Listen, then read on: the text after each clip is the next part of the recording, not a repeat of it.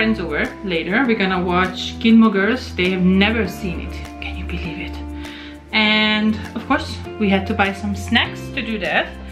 And we've already been out and did it while we were waiting for them because they're always late, of course.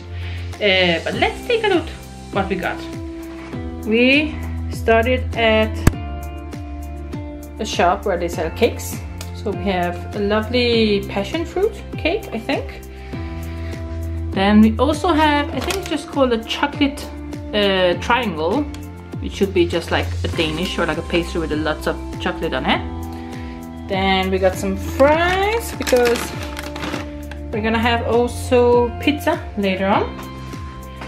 We've got the salty chips, sour cream and onion chips, some kind of chips, I don't know what it is, but it's good, I think. We have Coke Zero, some sparkling water, some Fanta, some sour candy, and for the weirdos in the group, we have some salty candy. Yeah. And just to be on the healthy side, we have some melon we're gonna have.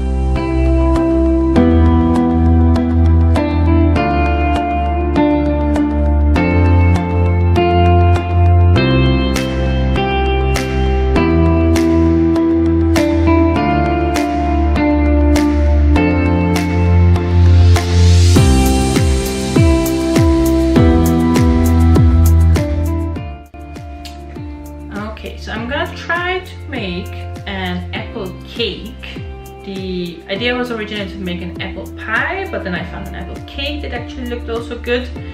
It's a very lovely picture that you can see. I just found it online and I wanna try to make I'm gonna leave the link and the measurements down below so you can take a look.